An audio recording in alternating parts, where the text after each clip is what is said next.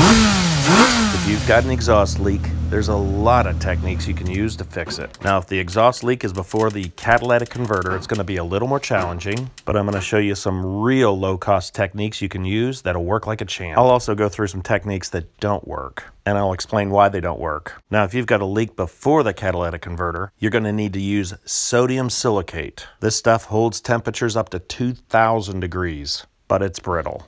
If you put this into a hole or a crack, you're going to hit a bump and this stuff will come right out. So you got to know how to work with this stuff. You can find this sodium silicate in a lot of places and it's cheap. This is furnace cement. It's about $4 for this entire tub. So you got to be able to get this to stick and hold into place. Now we're going to use this Harbor Freight welder. Now to fix this, you don't have to be a good welder. Now when you see this weld, you're to laugh until you hear how quiet it is when we're done here. See, what we're doing here is we're just filling in this hole with little steel balls. This weld is rough, and when you turn on the car, it's gonna be as loud as it was before. But when we apply the silicon silicate to this structure, this structure is gonna give it something to stick to. Just take a look at this hole. So I ground it off to get everything clean and then just stitched it up with the welder. Then you just put on the furnace cement. This furnace cement is designed to stick to steel. And this steel structure is strong enough to hold everything together. Then the furnace cement seals it all up. So it takes about five or 10 minutes to weld it up.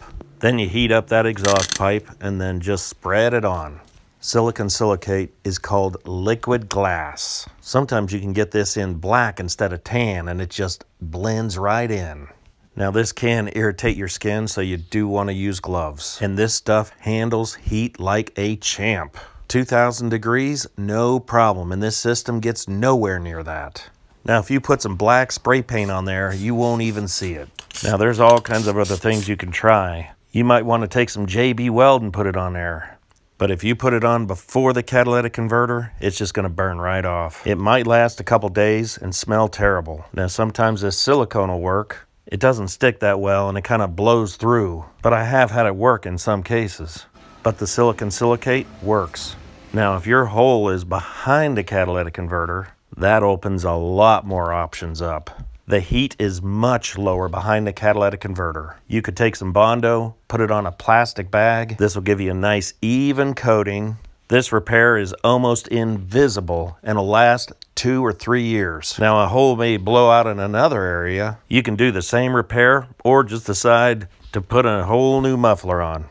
For me, a patch like this works, I'll save the 300 bucks. With these techniques, I haven't put an exhaust system on any of our cars for about 20 years. And yes, we've got all kinds of state inspections. One time the mechanic saw it and just laughed. He still passed the car because it's sealed. If the exhaust holds a pressure test, it passes. And a little black paint, and you don't even see it. And some of you guys are going to say, why don't you just do it right? Do it right the first time. For five or ten bucks, this is holding pressure, even at high temperatures. Now, at any time, if I want to start taking this car to a car show, well, sure, I'll take that, put a new exhaust system on it, and start taking it to the car show. And instead of having somebody put a new muffler on for three or four hundred bucks, a welder costs about a $100. And I'm sure if you work at a muffler shop, you're going to take a look at this and just laugh. But just think, the more people that know how to do this, the less people that are going to go to the muffler shop. Now, there's never a day that I don't learn something new. And if you've got some ideas on how to extend your exhaust system, I'd love to hear about it. Or if you totally disagree and you just want to give me heck for it, go ahead and leave the comments down below. I could take it. Well, anyway, if you have an exhaust leak before or after the catalytic converter, here's a few techniques that I've used that work.